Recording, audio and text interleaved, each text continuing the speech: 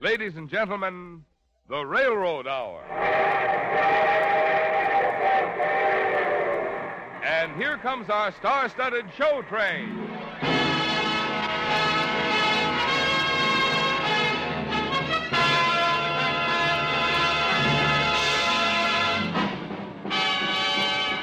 Tonight, the Association of American Railroads presents the first air performance of Song of Norway, starring Marina Koschetz as the Countess, Melva Niles as Nina, Gilbert Russell as Rick, and your host, Gordon MacRae, as Edvard Grieg. Our choir is under the direction of Norman Luboff, and our music is arranged and conducted by Carmen Dragon. Yes, tonight another great musical success is brought to you by the American Railroads. The same railroads that also bring you most of the food you eat, the clothes you wear, the fuel you burn, and all the other things you use in your daily life. And now here is Gordon MacRae.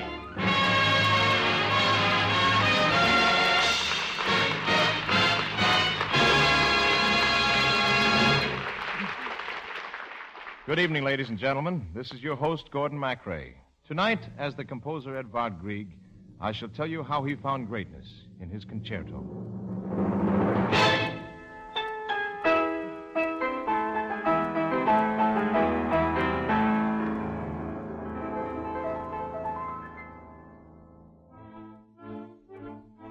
On an enchanted hill called Troldhaugen in Norway, I used to play when I was a child. With me would be Nina and Ricard, my two dearest friends. And we were pledged together in the solemn bond of the very young. But Nina went away. Years passed. Rick began to write his poems, I my music. And even then, the urge began within me to compose something that expressed the beauty and spirit of my land a song of Norway.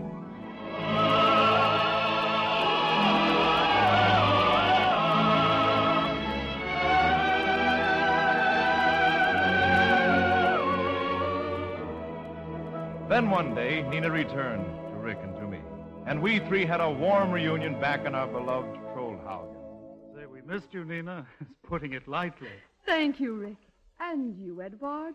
You wrote so seldom. Nina, never judge a man by the letters he didn't write. Oh, well, the main thing is that you're home again. And you know, I used to tell people I was from Norway, but they'd look at me as if I were a savage. To the outside world, we're still Vikings, people of mountains and ice. oh, come now, Rick. Oh, you, Edvard, could do so much. A man whose music is as Norwegian as a fjord. You see, Nina, Rick's still waving his flaming sword. Sword, fjord. I've made a rhyme. You're not supposed to. Rick has always been the poet, ever since we were children. And you were always the princess, Nina. And you, the minstrel, Edvard. Oh, again we stand on You's green hill. The poet, the minstrel. The princess still, and who will swear that no matter where fortune takes us or how we fare, We will be free. I will. I will.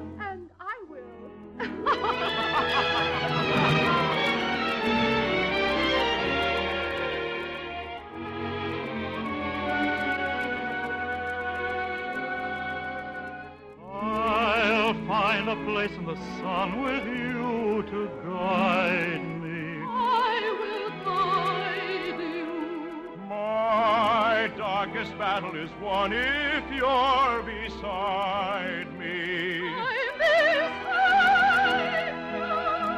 We're weaving a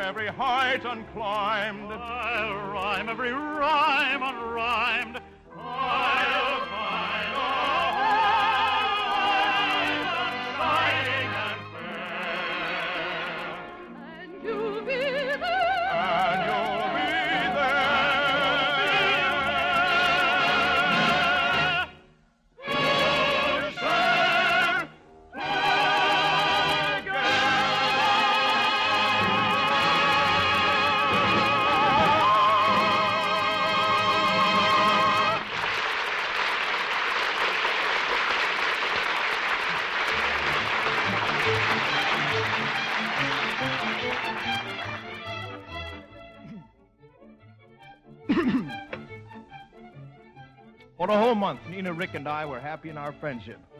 Then on Midsummer's Eve, one of our gayest Norwegian holidays, Rick met a strange gentleman in the square. Uh, pardonnez-moi, monsieur. I am Count Pepe de Lou of Paris. My name is Ricard Nordraak. Charmed. You see, monsieur, the countess, my wife, is an opera singer. And you know opera singers, very temperamental. She insisted on coming here for the celebration. And when my wife insists, ah, she insists.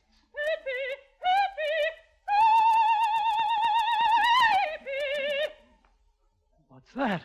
That is either my wife or a factory whistle. What a quaint place!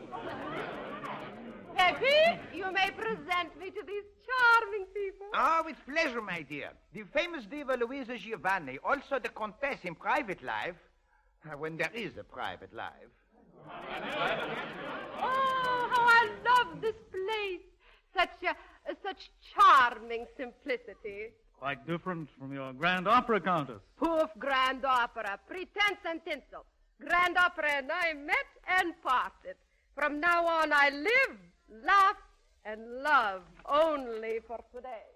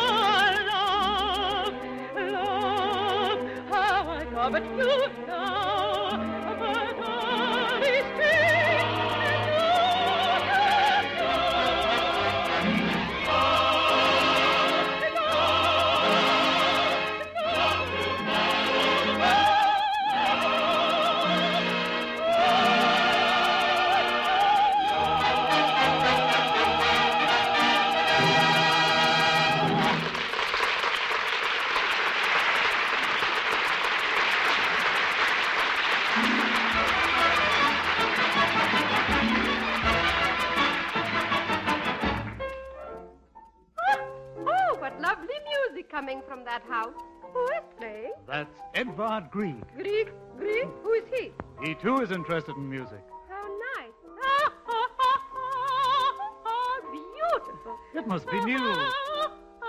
But then you know, Grieg is always writing little songs. Lovely. Lovely. Bravo! Oh, I beg your pardon. Oh, young man, you simply play entrancingly. Well, thank you. And for that, I'm quite willing to look up to you, but not indefinitely. Oh, I'm sorry. I shall come right down. Peppy, Yes, my dear. we stay here. But your concert in Amsterdam. Cancel it. Where I like it, I stay. Poof, But the Queen is expecting you. poof to the queen.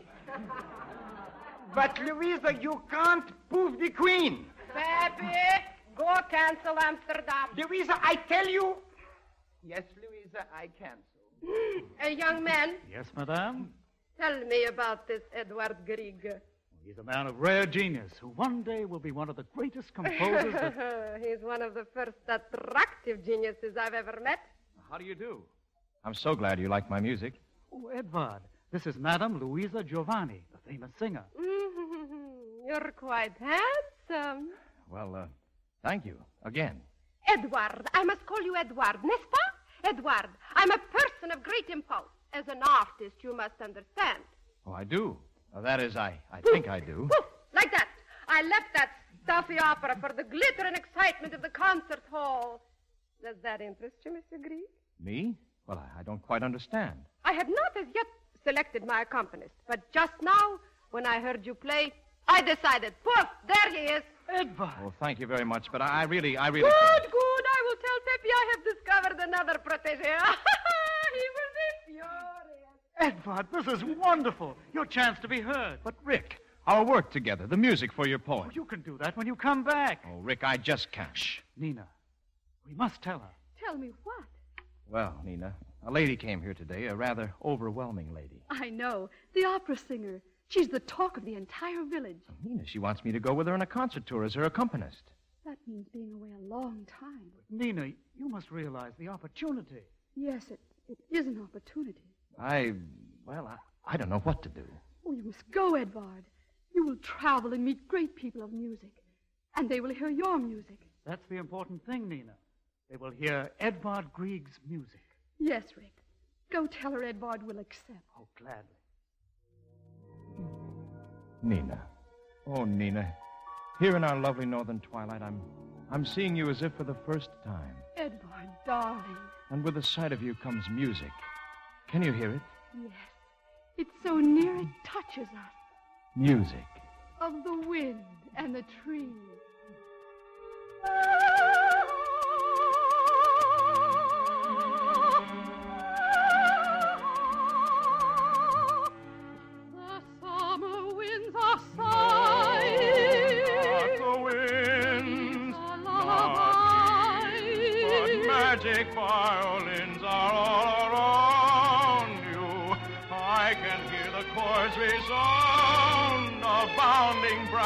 That seems to say, I found you.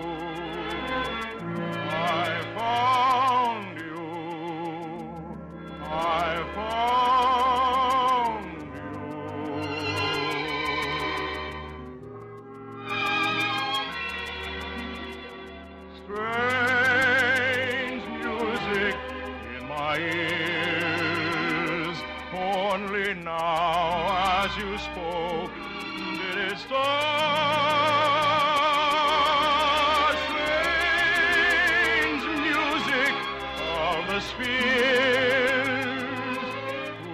its lovely hum be coming from my heart?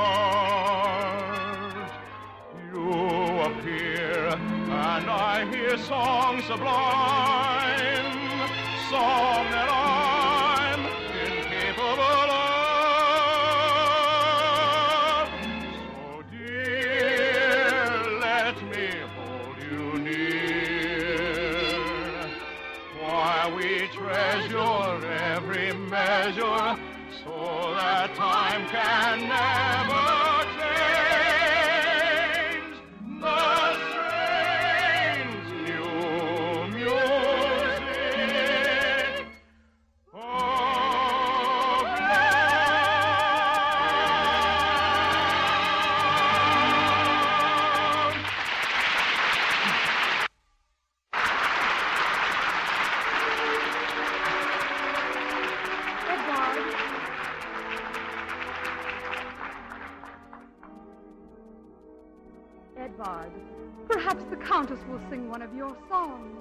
My songs are only for you, Nina.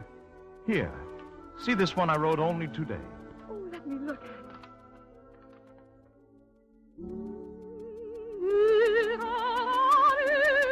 Oh, Edvard, it's beautiful.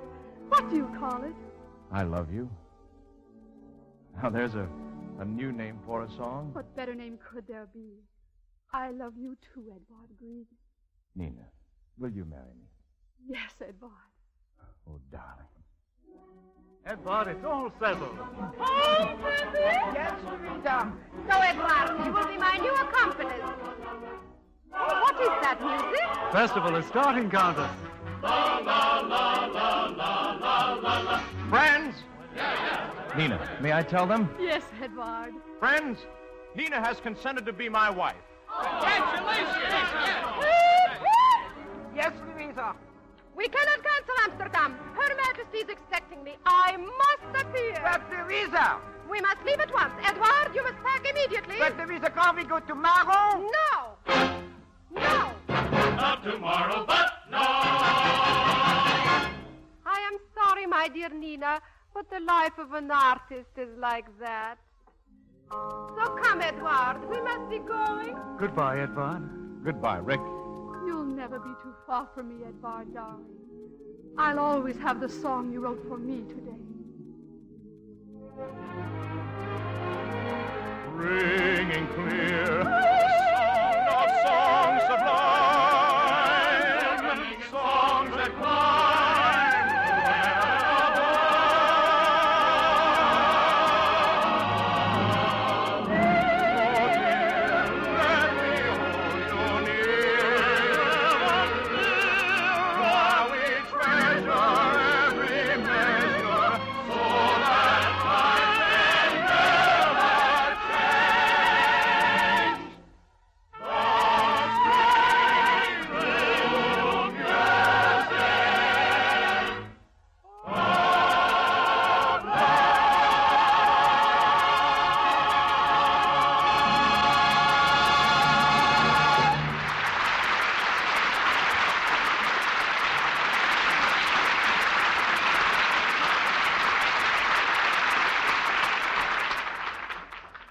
Ever stop to think of the railroads as a special sort of highway? Well, that's just what they are. And because we have railroads, it is not necessary to burden our other highways with a lot of extra large and extra heavy vehicles. The sort of vehicles which interfere with the convenient use of the roads by ordinary motor vehicles, and which overstrain and break down the highways with excessive loads. Because we have railroads, it is not necessary to do this to our highways. But just the same, Mr. Thomas H. McDonald says that's what we're doing. And Mr. McDonald knows because he's the United States Commissioner of Public Roads and one of the great friends of highway transportation. Talking to a road builders conference recently, Mr. McDonald said, and I quote, We are overloading our highways in their traffic volume capacity and in their structural capacity. End of quote. And he added that the results are reflected in the accident record and in what he termed skyrocketing maintenance and reconstruction costs. Describing the increase since 1931 in truck traffic, and especially the increase in heavy axle loadings, Mr. McDonald said that the effect has been, and I quote, that prior to the war, damage had reached alarming proportions. With the marked increase in heavy loads since the end of the war, the damage has become even more alarming. End of quotation. Mr. McDonald went on to say that insofar as the great majority of trucks were concerned, there was no problem of critical overloads. And he added that every proposal to increase truck sizes and weights beyond the recommendations of the American Association of State Highway Officials should be rejected summarily. Something which Mr. McDonald did not say, but which is likewise true, is that further increases in truck sizes and weights are not necessary because we have a special sort of highway which can carry efficiently and economically the largest and heaviest loads the American railroads.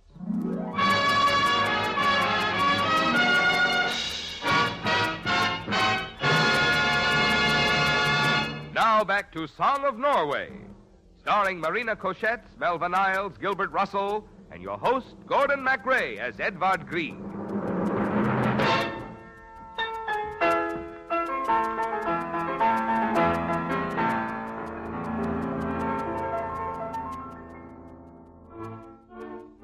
My concerto, Our Hill of Dreams, and Trollhaugen seemed far away during the months that followed. Paris, London, Vienna, all a weird symphony of trains, concerts, and the inevitable tea party. Louisa, as usual, took complete charge of things. And soon I found myself in a concert tour of my own. And so the country boy from Norway became the lion of the salon. We ended in Copenhagen. My recital was a great success, and I saw the proud faces of Nina, Rick, and the audience and they had brought my mother with them. There was a reception in my honor the next day at the Royal Conservatory.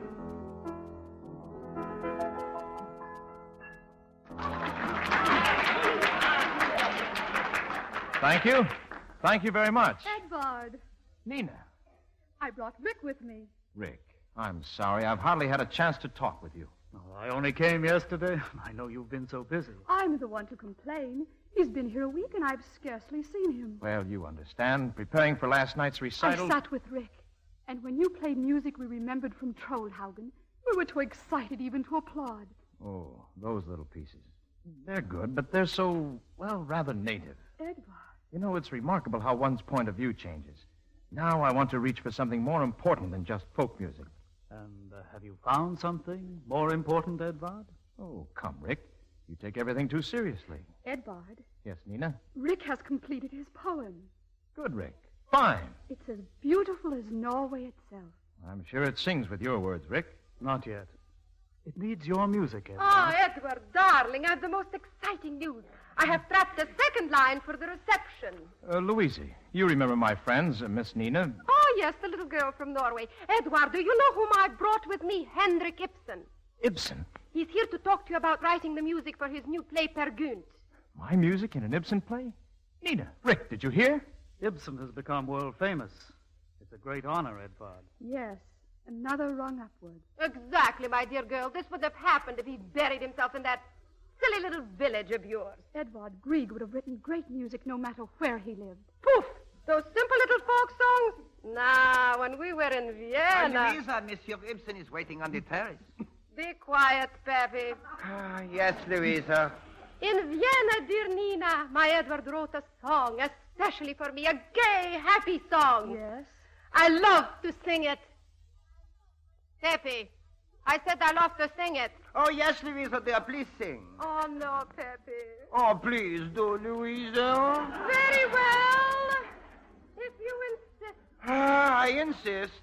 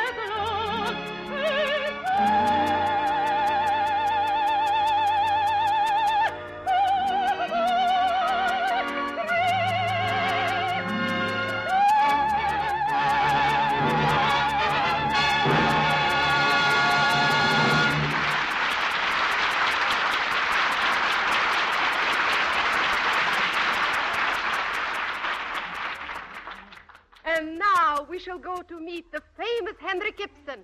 Come, Peppy, Edward. Nina, will you excuse me, please? Yes, Edvard. And Rick? Of course, Edvard. It will be an historic moment. Nina, I'm afraid the music to my poem will never be written. It will, Rick. It must. Edvard promised. And you know he'd never break a promise made on Trollhaugen. Ah, there you are, children. Oh, Mother Grieg. Richard, I've had a letter from your father. My, my father? W- what did he He said that you shouldn't have made this trip, that the doctor forbade it. Rick, you never told me you were that ill. I'm not. Everyone worries too much. Come, let's have some tea. In a little while, Richard. I want to talk with Nina. Oh, then please excuse me. I'd like to meet Henrik Ibsen. Oh, I worry so about Rick. And about you, too, Nina. Me, Mother Grieg? Nina, when are you going to marry him? Well, I, I don't know. You should. You two have been engaged for a long time. But Edvard has been traveling so much. Yes, I- that is something the Countess is always careful to arrange. She has helped him. Nina, we are simple people. Such a woman does not think as we do. Edward needs you, Nina. Now more than ever. Attendez, attendez, everyone! Edward Grieg will compose the music for Henrik Ibsen's Peer Gynt. Ah, he will go to the Italian Riviera where he will work with Herr Ibsen. And every so often, I shall drop in on Edward to inspire him. Nina. Nina, you heard? Yes, Rick. Nina, we've lost him. Oh, Mother. Nina, Rick. Isn't it wonderful? I'm going to Italy to write with Henrik Ibsen. Well, have you nothing to say to me? Yes, Edvard. As from a dream come the hopes of the past, unfortunate vagrants, shadows that stand in a once lovely land, despoiled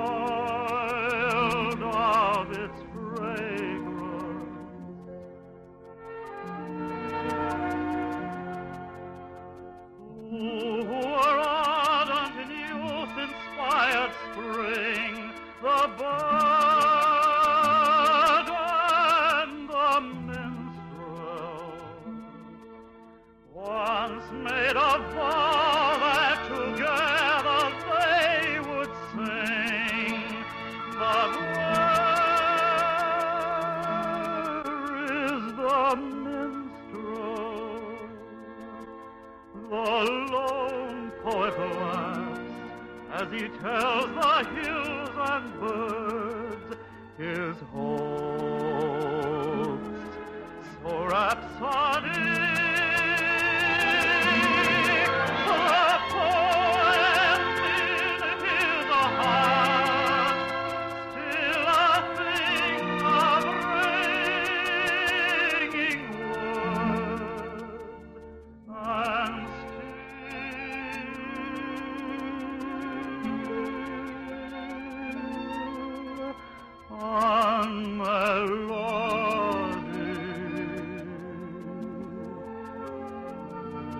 Goodbye, Edvard. Rick. Rick, don't go, please. Nina, you must do something. You must. Come, everyone, a toast. A toast to Edward Grieg. And may today's announcement bring him fame and all the things that make life worthwhile for an artist.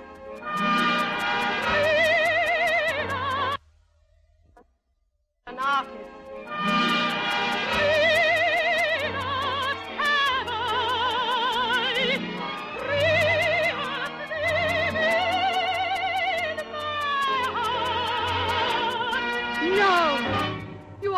Countess. Love doesn't come divided.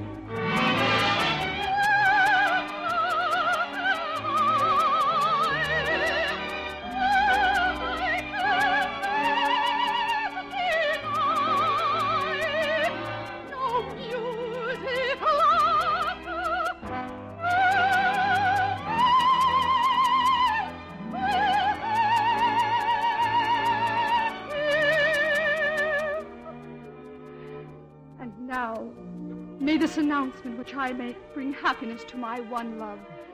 Edvard Grieg and I will be married one week from tonight. Nina. Nina, you've made me very happy. Edvard, my dearest. Congratulations, my dear. I do hope the Riviera will not be too cold for you.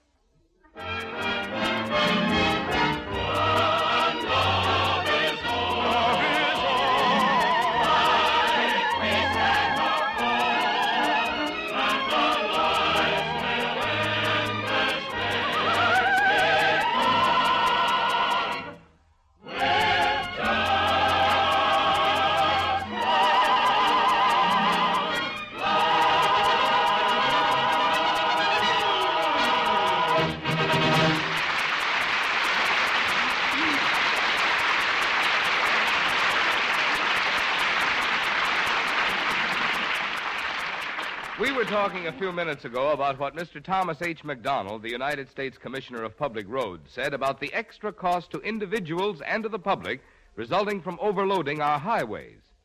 The highway user, Mr. McDonald said, and I quote, does not wish to pay for new highways to replace those destroyed by excessively heavy loads. End of quotation. And Mr. McDonald pointed out another way in which a relatively few extra large and heavy vehicles add to highway costs by reason of, and I quote, the reduction of the numbers of vehicles of all types that can be carried by our highways when trucks constitute an appreciable percentage of the total. End of quotation. Under certain circumstances, he said, this reduction in the traffic volume capacity of roads is as much as one third. So the public, the highway users, and the taxpayers are paying more than they otherwise would have to pay for their roads and are getting less use out of the roads they pay for because of a relatively few extra large and extra heavy vehicles. And it is all so unnecessary when we have available railroads, specially built and specially fitted to carry just that sort of loads and to do it with unequaled efficiency and economy.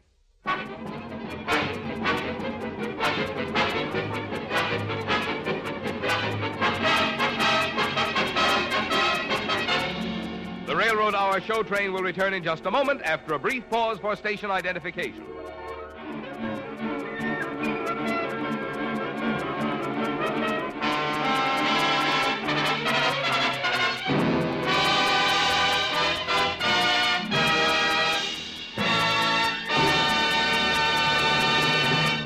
Now back to Act Three of Song of Norway, starring Marina Koschetz, Melvin Isles, Gilbert Russell, and your host, Gordon MacRae, as Edvard Grieg.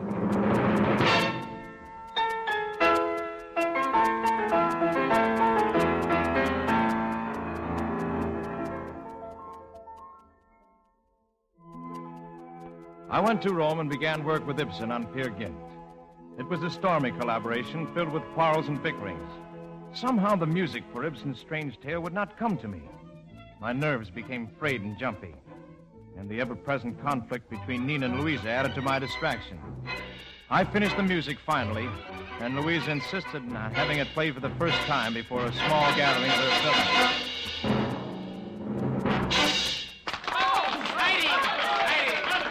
hear, Edward? You hear, Edward? They're applauding for you. Soon the whole world will applaud for you. And you cannot turn from it, Edward. Nor from me. Yesterday you were a boy who wrote music in a village. But now the name of a man is heard. And you can make him great. I know, Louisa, and I'm grateful for everything you've done for me, but Uh, Pardonnez-moi, Monsieur Grieg. Your wife just arrived and she wants to see you alone. What is she doing here? Nina here, I, I don't understand. She said she wasn't coming. But please excuse me. Very well. But remember, I shall be waiting. Nina, what is it? What's wrong? Edvard, a letter just came for you, special post. It's from Mother Grieg. From Mother? Well, let me have it, please. Oh, Edvard, what is it? it's Rick. He's gone. Oh, Edvard, no. This note. He left it for me. Dear Edvard, the day is passing, and our lovely fjords sparkle with the last light of a dying sun. It is so with me in my life, for I can hear God whisper, To you, Edvard, I leave Norway, the maid so fair, like crystal to behold.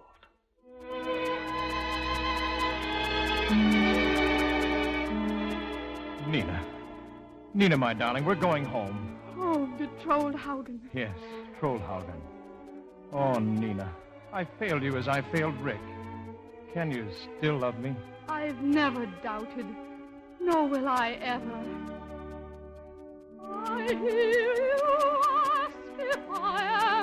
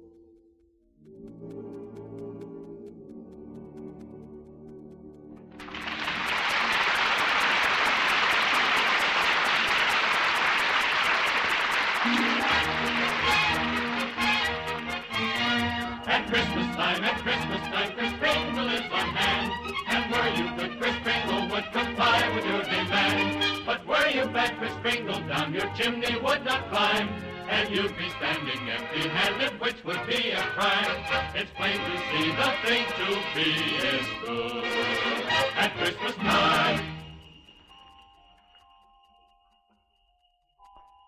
Just think, Nina. Our first Christmas in our own home here in Troldhaugen. Where we always wanted to be, darling. Where we played and dreamed. You and I. And Rick. Yes, it was here on our Hill of Dreams, Nina, that you first said. I love you, Strange Edvard music in my ears. Only now, as you spoke, did it start. Strange music of the spheres, and its lovely hum is coming from my heart.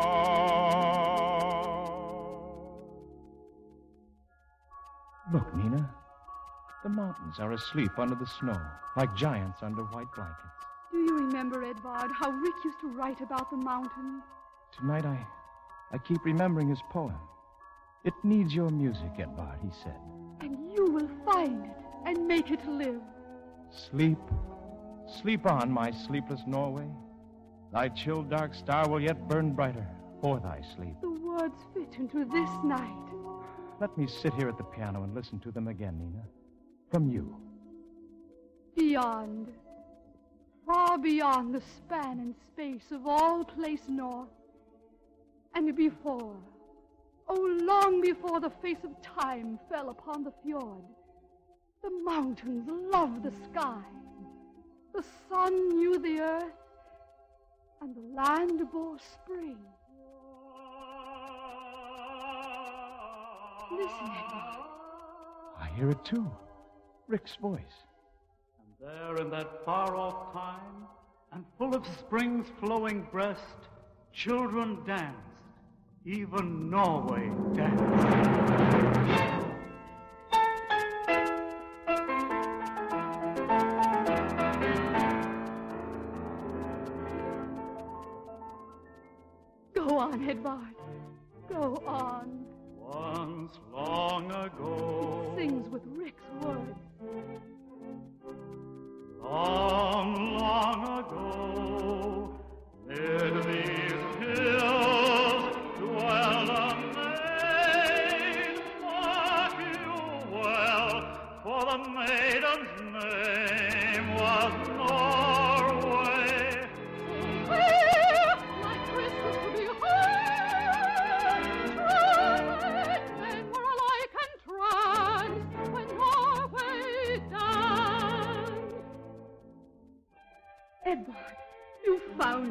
Rick's Dream. A song of Norway. You kept the promise at last. Yes, Nina. We three are together once more.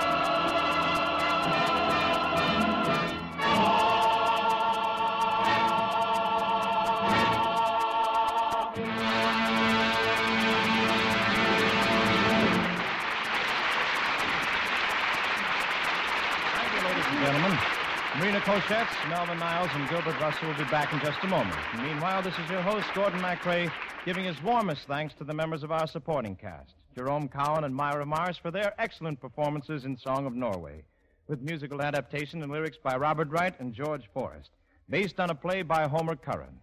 Song of Norway was adapted for radio by Milton Lazarus, who also wrote the original stage play.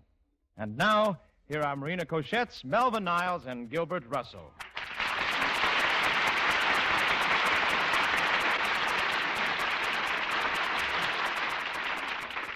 Gordon, I just want to tell you how very much I enjoyed appearing for the Association of American Railroads in this exciting production of the thrilling Song of Norway. Ditto from me, Gordon. And from me, too. Well, we all thank you, Marina, Melvin, Gilbert, and we hope you'll be listening next Monday night, March 7th, when we'll be bringing you Jeanette MacDonald in Franz Lehar's Merry Widow. I will. I will. And I will.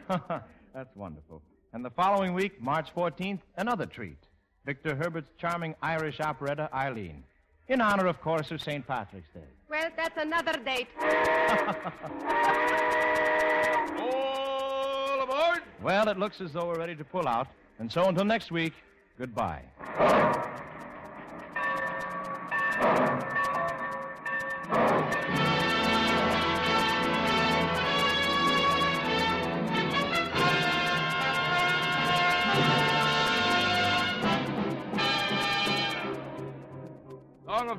Has been presented by special arrangement with its original producer, Edwin Lester, and through the courtesy of Universal International Studios, who will soon world premiere The Life of Riley, starring William Bendix as Riley.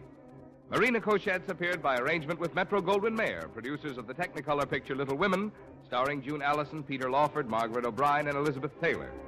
Gordon MacRae appeared by arrangement with Warner Brothers. This is Marvin Miller speaking. The Railroad Hour is brought to you each week at this time by 132 railroads of the United States. Each one of them has its own operations and services. Each one competes keenly with others for business.